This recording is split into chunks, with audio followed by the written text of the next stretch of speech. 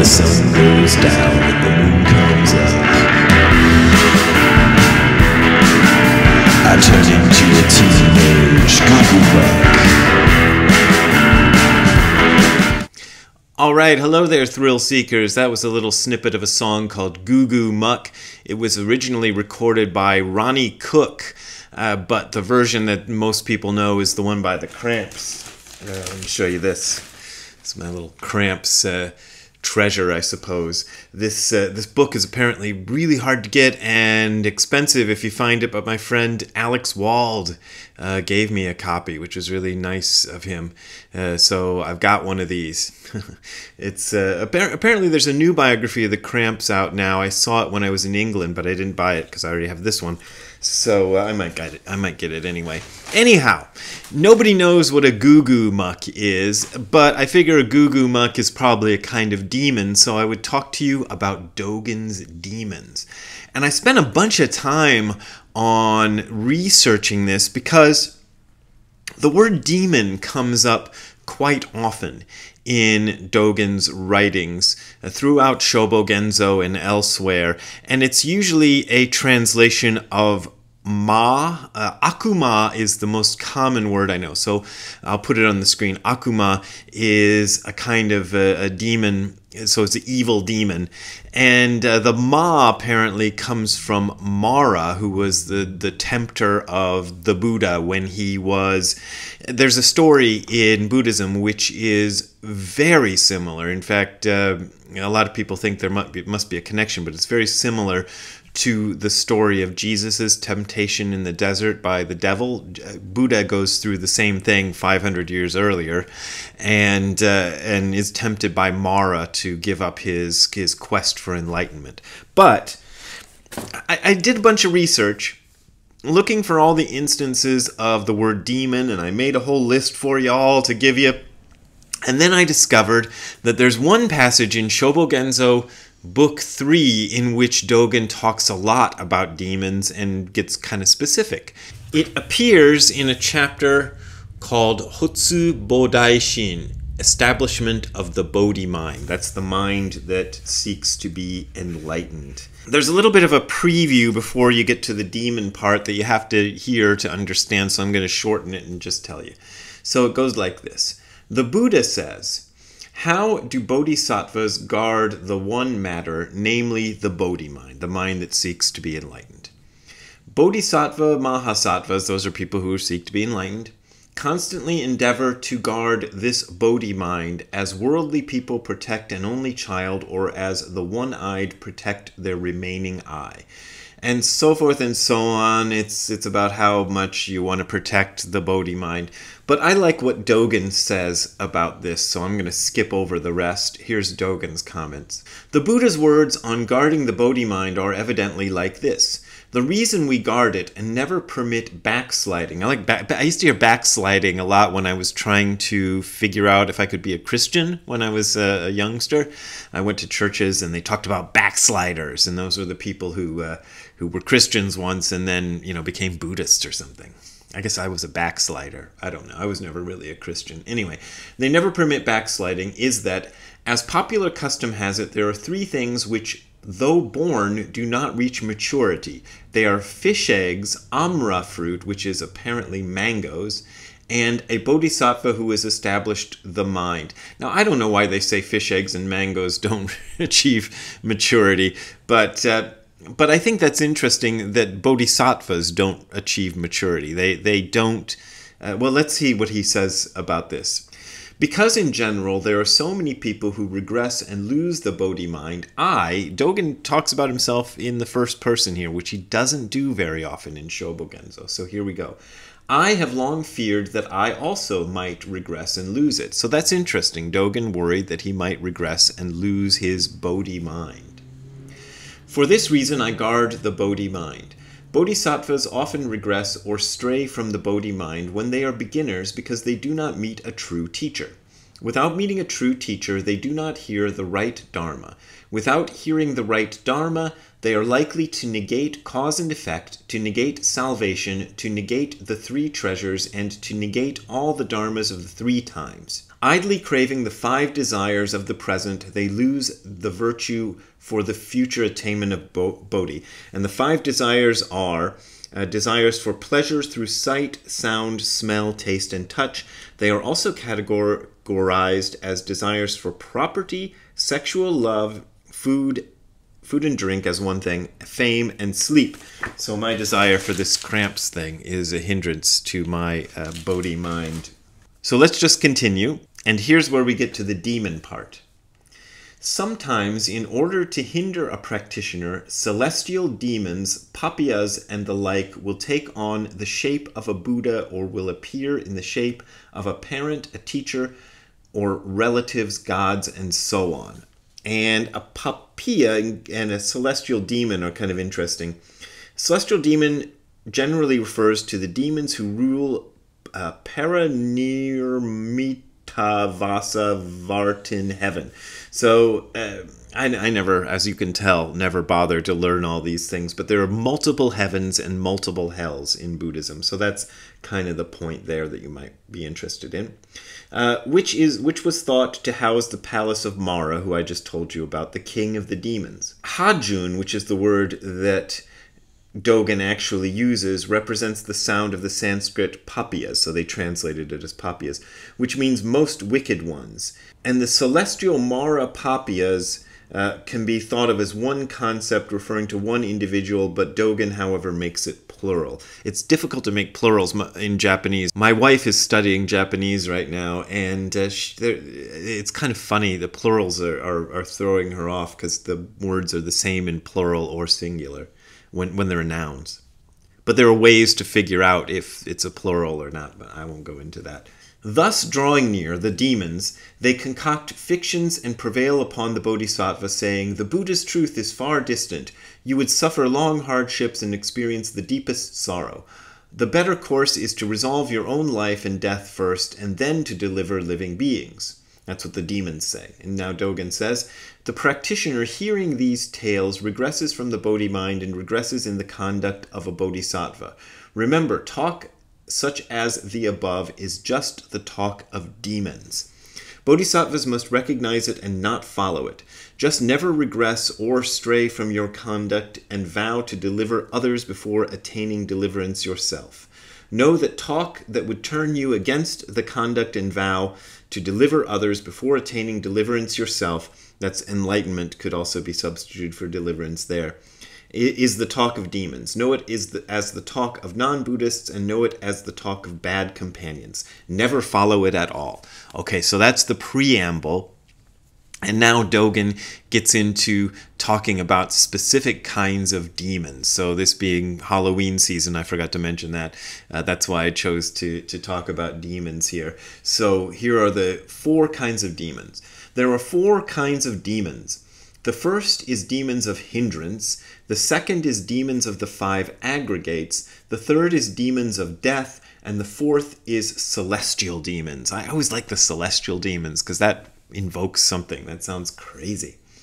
Demons of hindrance, of what are called the 108 hindrances and so on, discriminate 84,000 miscellaneous hindrances. So, a demon of hindrances uh, comes from the Sanskrit klesa, which means affliction, trouble, the cause of suffering, that which disturbs our balance and hinders our actions. And this list of the uh, six or ten klesas uh, basic causes of suffering in varying numbers, uh, blah, blah, blah. Uh, these are, I'll just give you the, the hindrances. That There's a lot of preamble here. Here, here are some of them that they enumerate in the old Buddhist texts craving, anger, ignorance, arrogance, doubt, wrong view. Uh, another list gives them as negligence, indolence, unbelief, sloth, that's a good one. Uh, disdain. Sloths are nice. What's wrong with sloths? Come on. Disdain, shamelessness, lack of reserve, wrath. That's a, that's another one of the seven deadly sins, along with sloth. Anyway, hypocrisy, uh, meanness, envy, affliction, tendency to do harm, continual enmity. What is enmity? I never know what that word means. Uh, duplicity, roguery. Ooh, roguery. Uh, presumption. So you make an ass out of you and me when you assume something. So I guess presumption, assumption, right? Uh, drowsiness. Uh, that's a nice one. Uh, and remorse. So those are the afflictions. Let's just con- uh, continue on. Uh, demons of the five aggregates are the primary and cooperating causes which combine to produce hindrances. So this is a this is the next category of demons. I guess we're up to category two. Uh, demons of the five, ag- five aggregates. And the five aggregates are Buddhists don't believe that people are a soul embodied in a body what they think is that that people are a combination of five aggregates. And what's kind of interesting is uh, Nishijima and Cross give you a list, several lists of the five aggregates. So I'm going to go through them quickly. Uh, the Merriam-Webster dictionary is that no Merriam-Williams? Anyway, this great Sanskrit dictionary that I can't not Merriam-Webster. Dang, what is it called? Uh, if I remember it, I'll put it on the screen.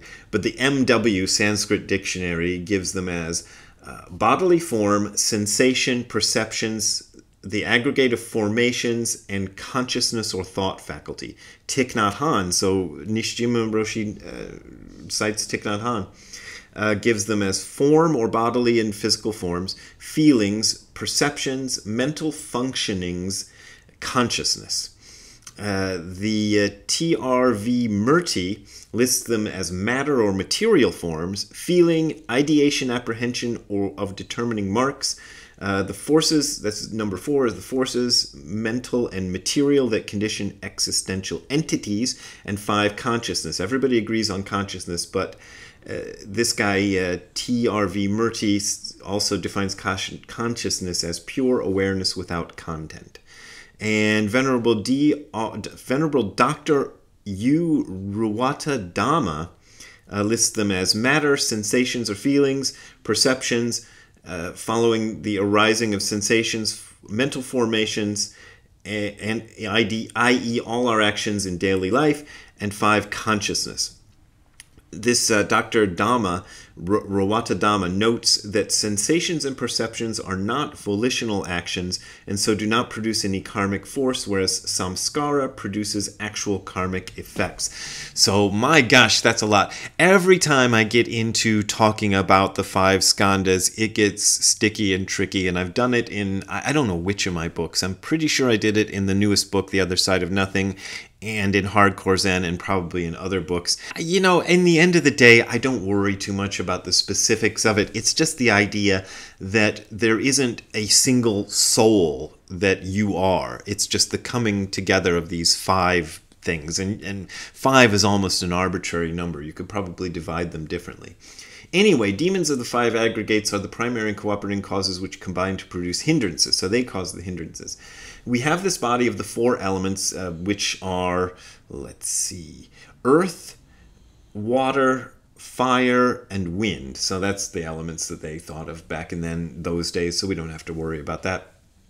We've got this body of the four elements, material elements, together with matter made from the four elements and matter sensed through the eyes and other organs. This is called the aggregate of matter. The sum of feelings, such as those of the 108 hindrances, is called the aggregate of feelings. So now he's defining the skandhas. Differentiation and synthesis of the countless thoughts, great and small, that we have is called the aggregate of thought. Uh, through the occurrence of pleasure and displeasure, there can arise habits which accommodate or do not accommodate mental mental states, sorry, such as greed, anger, and so on. This is called the aggregate of conduct. Uh, combination of the six senses and their six objects gives rise to the six kinds of consciousness. So that's consciousness. And when he talks about six senses, I always say this the sixth sense is mind as a sense, and objects of mind are what the, the, the mind senses. So it's not the sixth sense in the case of that, uh, that old movie. The countless and limitless states of mind, which are the differentiation and synthesis of these six kinds of consciousnesses, are called the aggregate of consciousness. And this idea of there being six consciousnesses comes from the Yogacara school of Buddhism. And here's uh, something I thought was interesting. This is Nishijima and Cross's little footnote about consciousness, but it kind of goes into Yogacara. So, consciousness, thus defined as the combination of subject and object, is the basis of the teaching of Yuishiki, consciousness alone. This teaching, elucidated in the so called Yogacara Vijnanavada school, stemming from the 21st Patriarch Vasubandhu, affirms the all embracing reality of consciousness, whereby grass, trees, stars, pebbles, and so on are all seen as manifestations of seeds of store consciousness, alaya vijnana. So, it's a bit different from idealism. Idealism has it that the material world is is not real and consciousness is real. Uh, the Yogacara school sees these things as real, grass, trees, stars, pebbles, and so on, material objects, but sees them as fundamentally manifestations of consciousness. So they're not unreal, but they are manifestations of consciousness. So that's that's how they say it. Uh, now we go on to the next demon. Demons of death. Ooh, that's scary. That's a good Halloween one. Through the impermanence of direct and cooperating causes, break the momentary. This is what the demons of death do. They break the momentary succession of lives, so that we're talking about reincarnation, of the five aggregates, and utterly remove three things consciousness, heat, and life. We therefore call them demons of death he doesn't say a whole lot about it, that one, but let's uh, get on to the next category of demons. Celestial demons. I love those. And the footnote says uh, these are Ten Shima, demons who are the sons of heaven. Uh, represents the Sanskrit Devaputra Mara. Here the term represent, refers to demons in the terror, sorry, para Nirmitas Vasa Vatran heaven. Okay, we talked about that already. The sixth and highest heaven in the world of desires. So that's kind of an interesting concept you might want to file away in your head is that heavens in Buddhist terms are somewhat similar to the Christian idea of heaven, but they are still places in the world of desire. They're, they're not the ultimate place you want to go. Heaven is, is a temporary place. Temporary, it might last thousands or millions of years, but it's still temporary, and that's that's kind of something to be avoided. So heaven and hell are both places to be avoided in Buddhist thinking. So celestial demons, as rulers of the world of desire, deeply attached to worldly pleasures and rely upon expectation of gain. So when you want when you want to get something, that's a celestial demon acting on you. Therefore they rise, sorry, therefore they give rise to wrong views. They hate and envy all sages and saints' ways and methods of nirvana. We call these celestial demons. And he sums up by giving a definition of Mara, which is what he's been talking about the demons. Mara is an Indian word. In China, it is called a being which is able to steal life. Only demons of death can actually steal life, so we're back to demons of death. But the others are also able to produce the direct and cooperating causes of taking of life. Okay, so yeah, okay, take take back what I just said. He's talking about all the demons. Moreover, they take away the life of wisdom. Mm. Uh, for this reason, we call them killers. And then he says, someone asks, one category, the demons of the five aggregates, covers the other three kinds of demon. Why do you separate them and explain them as four? The answer is as follows. In fact, it is one demon, but for the purposes of analysis, there are four. Buddhism often does this this idea of there is we have this idea of the universe is one thing, but we still analyze it into many things, and, and sometimes this goes on.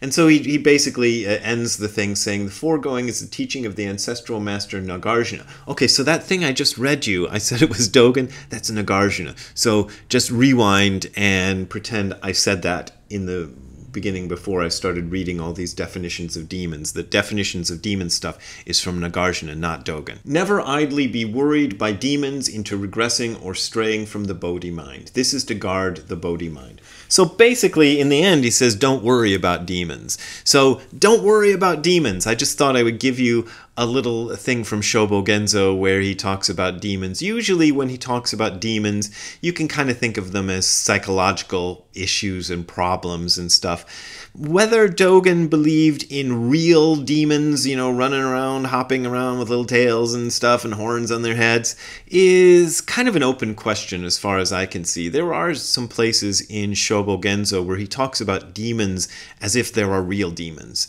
Um, there's one story where the guy is um, straying from the vegetarian diet that's prescribed in the monastery, and the master allows him to eat meat.